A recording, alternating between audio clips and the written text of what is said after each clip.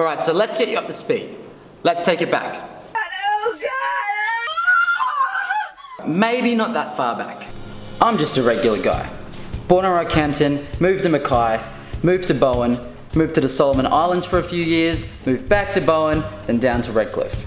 Went to a private school, changed to a public school, became school captain. Travelled Asia playing rugby union, then travelled Europe playing rugby league.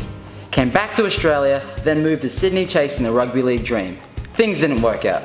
Moved back to Brisbane to chase the dream, broke my leg, had surgery, snapped a screw in my leg, had more surgery, came back to rugby league, second game back I broke my hand. Decided I needed a change. Moved to North Queensland to live with my nana and my fiance back in Bowen and start my own personal training business called Base. Now my days are mostly filled with personal training, reading, skateboarding, beach and waterfall swimming, GDDing, and just having an all-round awesome life. Which brings us here, March 3rd, 2016. So I'm taking up the challenge of doing a daily vlog. To follow my daily adventures, press the subscribe button below. I honestly have no idea what I'm going to vlog about every single day, but let's just see where it takes us. For now, that's the first vlog over and done with.